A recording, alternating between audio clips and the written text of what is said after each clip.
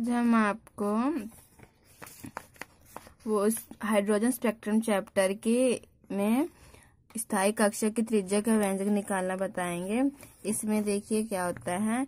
यह है परमाणु में इलेक्ट्रॉन नाभिक के चारों ओर घूमते रहते हैं, घूमते रहते हैं, तब इसमें इलेक्ट्रॉन ये ई है। ये हमारा इलेक्ट्रॉन है, जिसको, जिसका मान वन पॉइंट सिक्स टेन की पावर माइनस नाइनटीन होता है, और द्रव्यमान एम और इसका वेग वी है, तब त्रिज्या आर से आर होगी। और जो ये हमारा जेड है जेड हमारा ऑटोमिक नंबर है।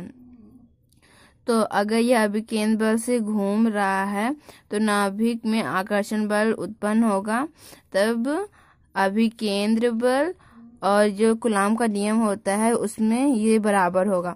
तो गुलाम के नियम के अनुसार जो हमारा ये है, यहाँ पे हमारा प्लस क्यों आवेश है हमारा माइनस क्यों आवेश माना तो ये क्यों प्लस क्यों और माइनस क्यों आवेश के बराबर माना गया है? तो गुलाम का नियम होता है किसी वैद्युत क्षेत्र में लगने वाला वैद्युत बल दोनों आवेशों की मात्राओं के गुणनफल के अनुक्रमानुपाती तथा बीच की दूरी के वर्ग के वितक्रमानुपाती होता है। मतलब कि जो हमारा जेड ई है, ये और ये माइनस ई इंटू होंगे। तो हम पहले लिख के बताते हैं। यहाँ पे लिखेंगे अभी केंद्र बल बराबर गुलाम का नियम अभी केंद्र बल बराबर वैद्य बल, अभी केंद्र बल का फॉर्मूला होता है M V square upon R और वैद्य बल का फॉर्मूला होता है one upon four pi epsilon naught dot Z into E यानी क्यू वन या Q two upon R square होता है। तब हम यहाँ पे करेंगे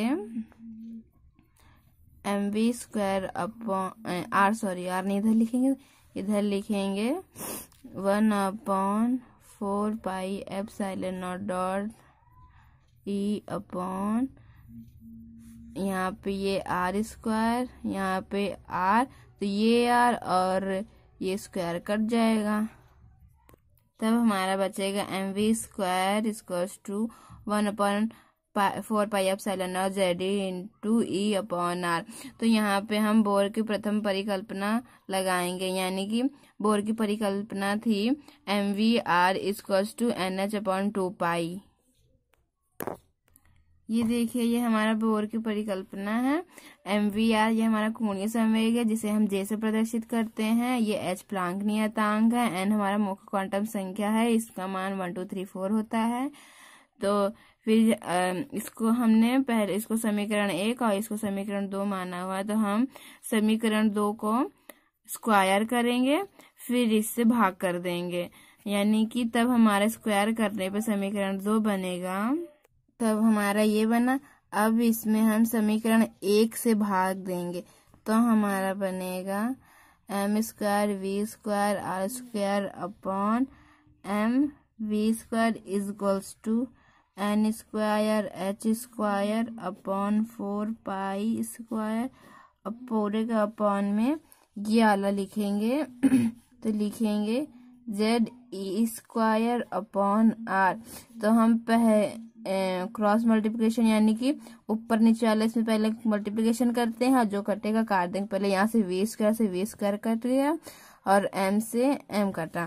तो यहाँ पे बच्चा M R square is equals to N square H square फिर आर अपॉन में फोर पाई स्क्वायर और ये देखिए, हमारा ये बना। तो ये फोर से फोर कैंसल और पाई से पाई कैंसल हो रहा है, इतना कैंसल और ये आर स्क्वायर और ये एक आर कैंसल हो रहा है।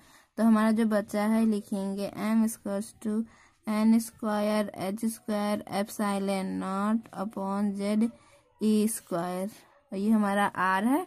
तो हम ये एम को अपॉन में भेज देंगे। तो R equals to N square H square epsilon naught Z E square into M ये हमारी त्रिज्या का फॉर्मूला आ गया है। ये देखिए हमारा आर का फॉर्मूला आ गया है।